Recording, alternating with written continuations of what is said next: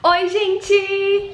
O vídeo de hoje ele é mais rapidinho, mas eu acredito que vai ter utilidade pra muitas de vocês. E eu decidi gravar esse vídeo porque é o seguinte, eu descobri muitos aplicativos de fotografia e de vídeo que eu gostei muito e que eu sempre vi outras blogueiras usando e que eu morria de vontade de saber, mas eu não sabia qual que era. Então eu decidi compartilhar com vocês, até mesmo porque muitas de vocês me perguntaram, né, estavam surgindo algumas dúvidas. Então eu espero que vocês gostem. Se você gosta desse tipo de vídeo, já clica aqui em gostei e se inscreve aqui no canal também pra você não perder nadinha.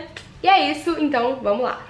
o primeiro aplicativo que eu vou indicar pra vocês é o Rookie Can, que quando eu descobri ele, eu fiquei apaixonada, porque ele tem uns filtros maravilhosos, muitos dos filtros que eu tô usando são dele, eu continuo usando o Visco, vou dar outra dica sobre o Visco aqui pra vocês também, mas eu tô usando muitos filtros do Rookie Can também, daí depois eu volto lá pro Visco e faço alguns ajustes, mas ele tem vários filtros muito bonitos e tem como você tirar a foto já direto com o filtro também, então ele é bem legal, é realmente eu gostei muito, muito mesmo dos filtros dele. O próximo aplicativo também é com filtros bonitinhos assim, que é o Food. Eu descobri ele através de um vídeo da Evelyn Regli, que ela usava muito um filtro de lá, e eu achei ele incrível, sério, tem uns filtros muito legais. Eu lembro que nos dias que a gente tava lá no Beach Park, eu usei praticamente só ele, porque os filtros se encaixam muito bem pra fotos mais coloridas, assim, ao ar livre, fica lindo. É muito minha cara, porque eu gosto muito de filtros mais coloridinhos, que tem, assim, essa pegada mais fofa, sabe? Então, ele é realmente muito lindo, gente. E esses dois dois, eles são grátis, então compensa muito você baixar.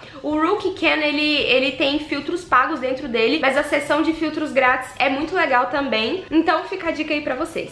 Agora eu vou dar uma dica do Visco Can, que tem muita gente perguntando quando eu posto uma foto assim. Sabe aquele efeito que a foto fica tipo com uma textura diferente? É o efeito granulação do Visco. Então é só você editar a foto como de costume, eu já até tenho um vídeo aqui no canal mostrando como eu edito as minhas fotos, quais os filtros do Visco que eu uso. E depois eu só vou lá e coloco esse efeito granulação. Não é legal você colocar muito dele, porque senão fica, não fica tão legal. Então coloca um pouquinho que fica aquele efeito assim com uma textura diferente, fica bem sutil. E é lindo, gente. Tá usando muito tem muita gente usando esse, esse efeito e é o granulação, pra quem estava com dúvidas, pra quem queria saber. Outro aplicativo que eu queria indicar pra vocês, que eu acho que muitos de vocês já devem conhecer, é o Pix LR Express, eu nunca sei falar o nome dele. Mas ele é um aplicativo muito conhecido já há muito tempo. Eu lembro que na época do Facebook, assim, as pessoas usavam muito esse site do Pix LR no computador pra editar as fotos pra postar no Facebook, no Orkut. E o legal dele é que ele tem uns efeitos muito legais. Eu não curto muitos filtros, mas eles, ele tem, eles têm umas texturas de luz muito bonitas, que chama Light Leaks, eu nunca sei como falar, ou Film Footage, que é filme antigo, sabe, coisa assim. Então eles têm essas texturas lá que se você quiser colocar fica muito legal também. Então geralmente eu uso esse aplicativo pra isso. Agora eu vou falar do InstaSize, que era um aplicativo que eu usava muito na época que o Instagram você não podia postar foto sem ser no quadrado, mas ele era um aplicativo simplesmente pra colocar as bordas brancas do lado. Mas hoje em dia ele tem várias outras funções. Eu uso ele pra fazer montagem de fotos, sabe? Pra postar no Stories, sabe? Quando eu quero postar um, um corte de um vídeo, eu uso ele. Ele tem várias opções de fundos pra você colocar, tem de glitter, tem tampas florais, tem várias coisas e eu amo, achei ele super fofo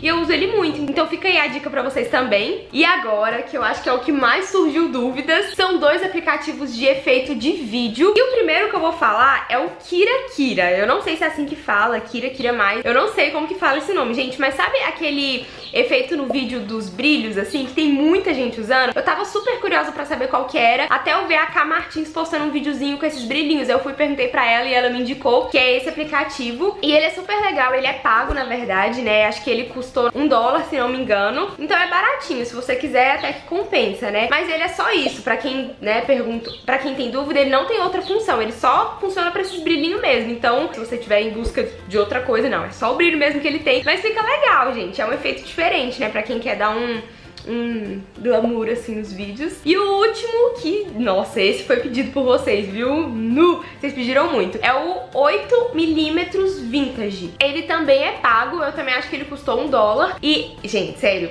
esse vale a pena. Eu achei ele muito incrível. Ele é tipo um aplicativo que tem uma câmera vintage mesmo, daí você pode gravar os vídeos usando essa câmera. E fica muito legal pra postar no Stories também, né? Pra dar aquela variada do, dos efeitos que tem lá. Fica legal pra você é, aplicar em vídeos no YouTube também, né? Você grava uns takes e coloca lá nos vídeos. Enfim, eu achei ele muito legal. Ele tem realmente essa pegada meio vintage que tá bombando nas fotos, em vídeos aí no Instagram. E eu acho que é isso. Eu espero que vocês tenham gostado desse vídeo, das indicações aqui pra vocês. Se vocês gostam desse tipo tipo de vídeo, me contem aqui nos comentários e também me deixem sugestões de aplicativos que sejam semelhantes a esse que vocês também gostam de usar. Então é isso, um beijo e tchau!